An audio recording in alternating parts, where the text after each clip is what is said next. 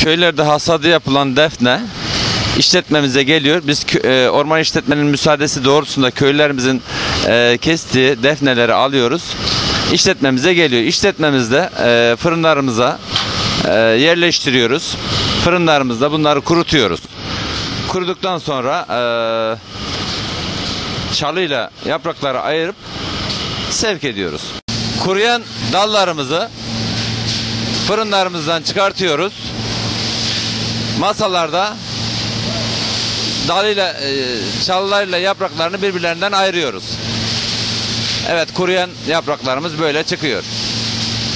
Yaklaşık 18 saatle 24 saat arasında kurumaktadır. Fırınlarımızdan kurumuş olarak çıkan dallarımız çırpma masalarına geliyor. Çırpma masasında e, arkadaşlarımız böyle çırpıyorlar. Çallar bir ayrı, yapraklar bir ayrı olarak ayrılıyor.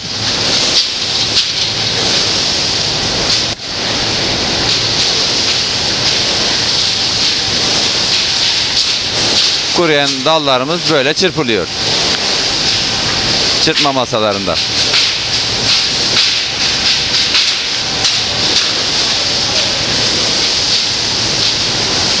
Yaprakların ne kadar yeşil ve tüm çıkarsa rekolte ve kalite o kadar yüksek oluyor. Buna özen özen gösteriyoruz.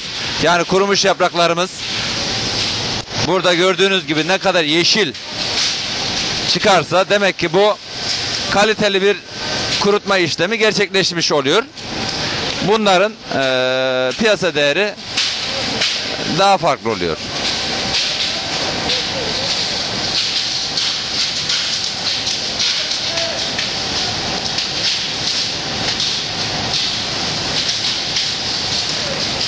Bu kuru çallarımızı patos makinamız var. Patos makinamızda talaş yapıyoruz ve termoliklerde ileride göstereceğiz. Onları yakıt olarak kullanıyoruz. Masalarda çırpılan yapraklarımız fanlar kanalıyla e, çöplerinden böyle temizleniyor. Bu şimdi temizlenmiş yapraklar. Bunlar da e, paketlenmeye hazır yapraklar. Bu yaprakları kalite kalite e, işletmede ayrılmakta. Yaprakları 4 ile 8 santim arasında olan tüm yapraklar e, en kaliteli yaprak olarak yeşil olacak. E, diğerleri de harmanlık olarak ikinci ve üçüncü olarak üçüncü kalite yapraklar olarak ayrılıyor ve öyle işleniyor. Bizim e,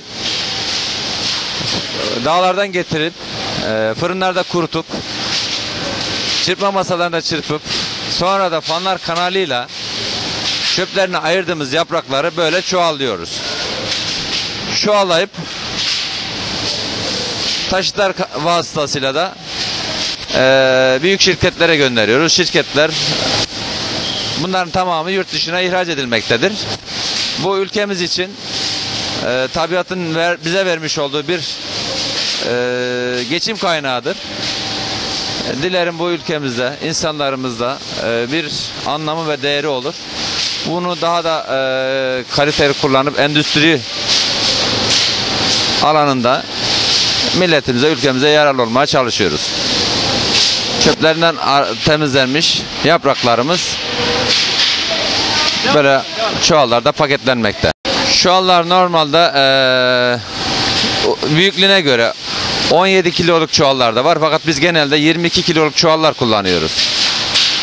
Şimdi yaklaşık e, 3,5-4 ton yaprak üretmekteyiz. Bu temizlenmiş yaprak. E, yaklaşık 15-20 ton arası da dal, dağlardan gelen dal işlemekteyiz. Kamyonlar e, İzmir'e gidiyor.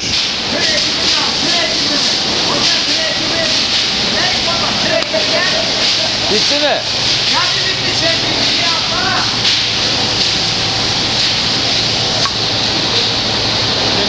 Pazarlama sorunumuz yok. Ee, son zamanlarda ülkemizde üretilen ve daha kaliteli ve daha bilinçli üretime geçiliyor. Bu orman e, bölge müdürlüklerinin bu konuda son zamanlarda eğilimleri var. üreticiyle ve bizlerle olan iletişimde daha e, kaliteli bir üretim meydana geliyor. Tabii bu yeterli mi? Tabii ki değil. E, yeterli hale gelmek için çabalarımız devam edecek. E, gereken orman bölge müdürlüklerinden de biz bu konuda yeterli destek görüyoruz sağ olsunlar.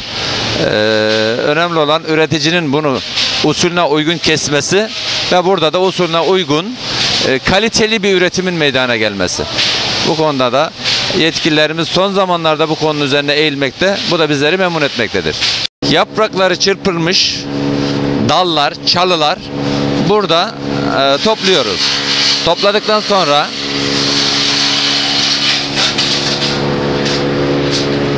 talaş makinamız var.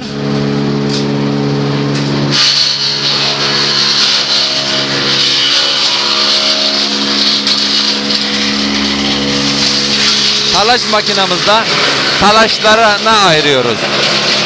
İşliyoruz.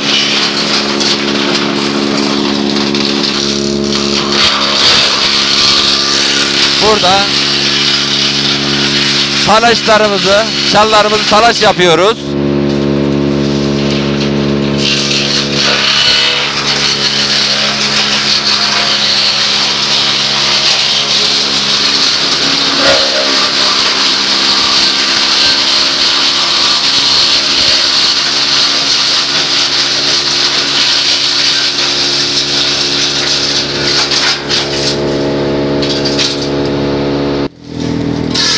Fırınlarımıza kuruttuğumuz ve eee çırptığımız yapraklarını ayırdığımız çalları buraya getiriyoruz. Burada talaş makinamız var. Bu çalları talaş yapıyoruz. Talaş makinamızla burada gördüğünüz gibi sürüleri yaklaşık 8 ay sürüyor. 8 ay beklemedik. Biz kendi imkanlarımıza, öz sermayemizle kurmuş olduğumuz bir işletme. Burada işçiler e, değişiyor. No- normalde bizim kadrolu e, 10 ile 20 arası işçimiz var. Üretim arttığı zaman işçimiz artmakta. Üretim yağmur ve kar yağdığı zamanlar e, üretim düşmekte. işçimiz de azalmakta dolayısıyla. E, yani elimizde ürün olduğu sürece de e, işçiyi artırıyoruz. Elimizde iş olmadığı zaman mecburen işçi sayımızı düşürmek zorundayız. Gelen yapraklar e, geçen yıla göre aynı.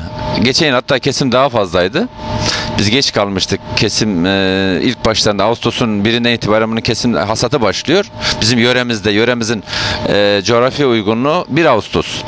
E, Orman İşletme Müdürlüğü'nün ve İl Tarım e, Müdürlüğü yetkililerinin verdiği e, rapor doğrultusunda 1 Ağustos 1 Ağustos itibariyle bunların hasatı başlanmakta. Ama biz 1 Ağustos 2014'te bunu yetiştiremedik. Yani işletmeyi kuramamıştık. Orada e, bir fırınla başladık. Şimdi 3 fırınımız var. E, bir fırınla e, tabii biraz düşük yaptık. Sonra fırın kurmuş olduğumuz bir fırın ihtiyacı karşılamadı. Çoğaltmak durumunda kaldık. E, bu yılda bu yıl kesim bu çevremizde geçen yıla göre biraz az olmasına rağmen şu an e, ürün sıkıntısı çekmiyoruz. Yağışların bu yıl az olmasının da sebebi var. Yağışların az olması e, köylü vatandaşların dağlarda bunu e, kesmesini kolaylaştırmakta. Karlı ve yağışlı günlerde e, biz bunları e, hasadını yapamıyoruz. Dolayısıyla e, beklemek durumunda kalıyoruz. Yaptığımız talaşları burada terboliklerimizin kazanına koyuyoruz. Haznesine koyuyoruz. Haznede termoliklerin otomatik ayarlama eee, öz- özelliği olan otomatik ayarlama eee, şeyleriyle motorun ısısını, kazanın ısısını ve ortamın ısısını ayarlıyoruz.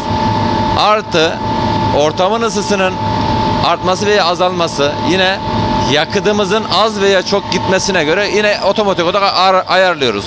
Sonra bu termolingimizin kazanında bu talaşlarımız böyle yanmakta.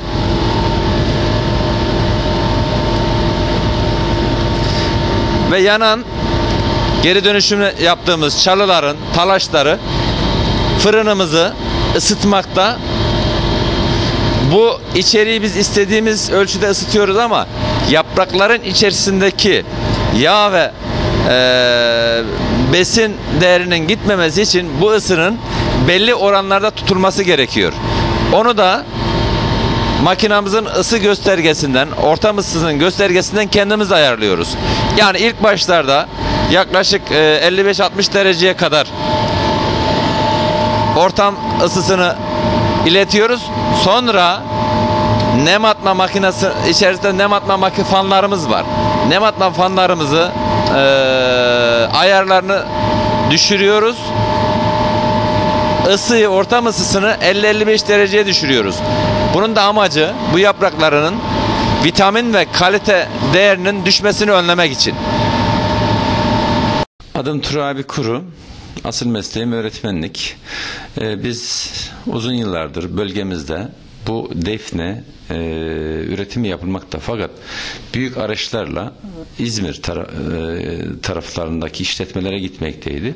Bunu uzun yıllardır düşünüyorduk ama faaliyete geçirmekte biraz e, tereddütlerimiz oldu. Sonra Üç ortak bir şirket kurduk 2014'ün e, Ağustos ayında ve bu faaliyete başladık.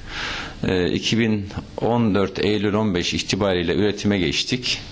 E, şu anda üretimimiz devam etmektedir. Şirketimizin adı Kuru Aziz Defne Tarım ve Orman Ürünleri e, İthalat İhracat Sanayi Limited şirketi. E, böyle bir şirket kurduk ve e, bölgemizde üretilen e, yaprakların yaklaşık %50'sini e, işletmemizde işlemekteyiz.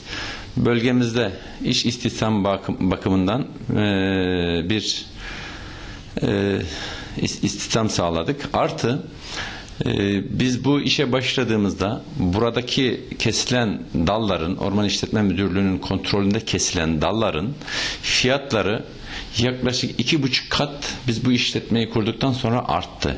Yani dağ köylümüzün eline yaklaşık biz işletmeyi kurmazdan önceki fiyatıyla bugünkü fiyat arasında iki buçuk kat daha fazla e, ücret almaktadırlar. Bu da işletmemizin sayesinde oldu. E, biz yöremizdeki e, insanlarımıza e, bunları mutluluk içerisinde temin etmekteyiz. E, yaklaşık bizim üretim kapasitemiz e, dal olarak 3000-4000 ton dal arasındadır. Yaprak olarak da 600 tonla 1000 ton arasındadır. E, bu yıl bu rekoltenin daha da arttırmayı düşünüyoruz. Önümüzdeki yıllarda daha kaliteli e, bir üretim planlamaktayız. Teknik ve makine açısından daha geliştirmek düşüncesindeyiz. E, bu şekil devam ediyoruz. Biz ürettiğimiz yaprakları e, İzmir'de stratejik anlaşmamız olan firmalara gönderiyoruz. Firmalar kanalıyla da yurt dışına gidiyoruz. Bizim şu an yurt dışına ihraç etme e, teknik anlamda yeteneğimizi henüz geliştiremedik. Bunu da e, kısa zaman içerisinde geliştirip e, bu yönde bir pazarlama ve bölgemize daha e, vergi anlamında daha yüksek maliyetler getirmeyi düşünüyoruz. E, biz bu ürettiğimiz ürünlerin e, gramı gramına hem gelir vergisini hem KDV'sini hem de stopaj vergisini ödeme ödüyoruz. Bu Bunlar daha önce biz bu işletmeyi kurmazdan burada e, bu e, ücret girdisi burada kalmıyor, kalmazken şimdi ilçemizde kalmaktadır. E, bu da bir e, sanayi yatırımı açısından bizim için önemli. E, bunun için de seviniyoruz.